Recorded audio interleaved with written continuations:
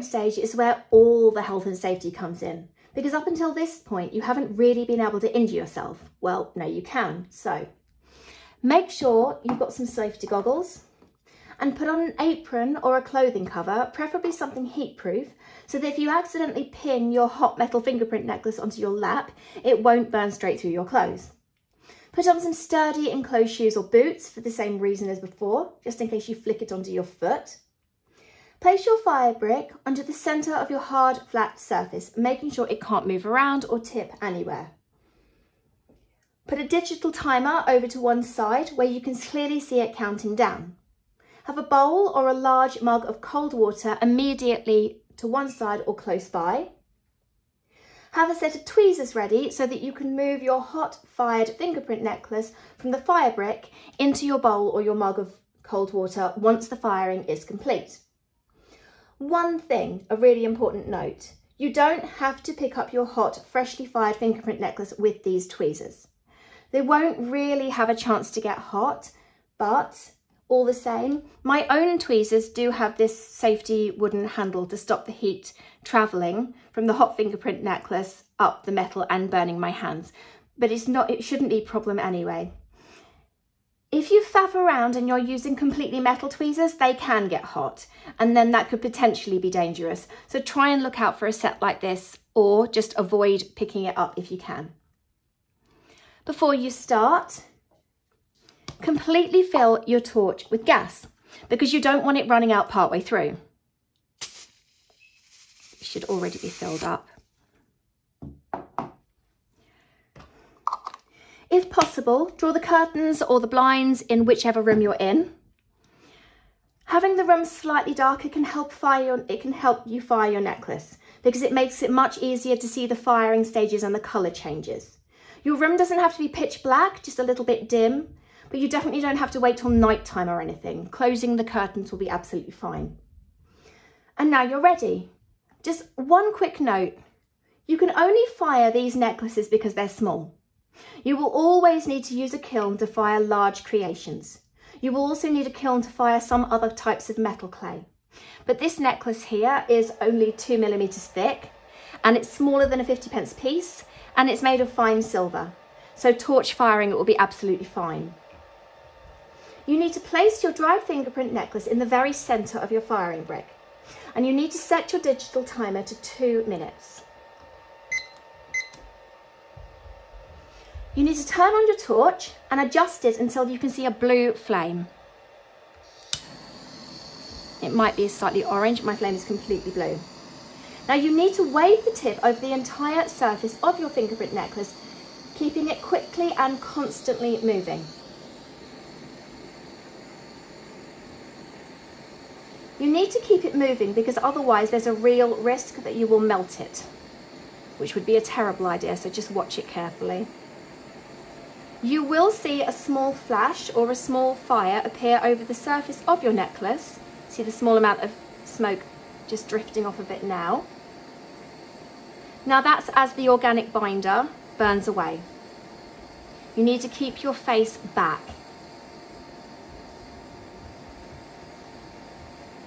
As soon as that little flash of fire dies down, like it has now, your piece will start to glow a lovely peachy colour. So we're just going to wait for it. Keep it moving all the time. Sometimes it takes a little while. There we go. Starting to go just a little bit peachy. Right now, as soon as you see that peachy colour appear, you need to set your two minute timer counting down. You still need to keep moving your torch, the tip of the blue flame, over your entire surface of the necklace the whole time. Don't freak out if it looks like your necklace is curling up around the edges. That's because it is, it's completely normal. It will settle down flat again, so you don't have to worry about it. You have got to fire for the full two minutes. That's the minimum firing time to ensure that the fine silver inside the necklace is completely sintered. Sintering is where all those tiny silver particles inside your necklace reach a temperature where they can stick and bind together tightly. The silver in silver clay jewellery is always sintered silver, which is why it's different to the kind of silver that you'll find in traditional jewellery on the high street. Traditionally made jewellery is made from molten metal, which is brought up to its melting temperature and then poured into a mould where it's set solid.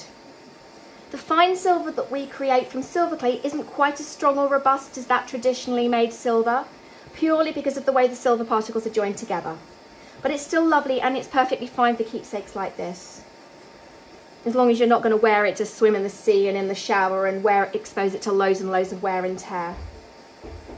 Jewellery from silver clay can occasionally break, especially if it's dropped from a height or mishandled. If your necklace does break, which would have to be pretty unlucky, you would see that the inside of the necklace has a kind of rough and stony appearance. This doesn't mean that you haven't made your fingerprint necklace properly or that you haven't fired it for long enough, which is a really common misconception. What you're looking at is the sintered silver. So, on the off chance that you have it run over by a car and it does break, the problem isn't you, it's just the nature of silver clay. You can fire it for a little longer, there it goes.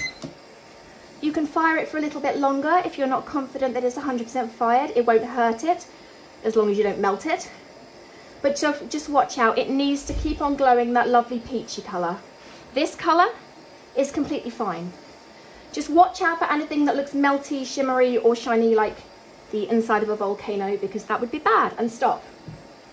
Don't ever, ever be tempted to fire it for less time because then the silver particles won't be completely sintered. But you definitely need to avoid anything that looks bright or shiny or melty orange. You might notice at this point that your necklace looks a little bit like it's shrunk, and that's because it has. It's perfectly normal for PMC flex and other types of PMC to shrink to about 12% of the original size. And that includes the little hole that we added for the silver jump ring, which is why we made that hole a little bit on the large side because we expect it to get smaller. Once your two minute timer is up, you need to gently poke your necklace into your waiting mug or your bowl of cold water with the end of the tweezers. You don't have to pick it up with the tweezers. In fact, it's probably best to avoid that just in case you mark your necklace.